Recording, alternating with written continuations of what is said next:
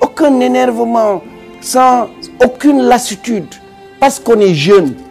Parce qu'on est jeune. Et la jeunesse, c'est l'énergie pour le travail.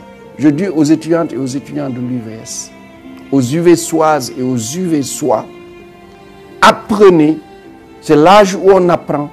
Travaillez dur, c'est l'âge où on ne se repose pas. Et soyez assurés que la réussite sera au bout.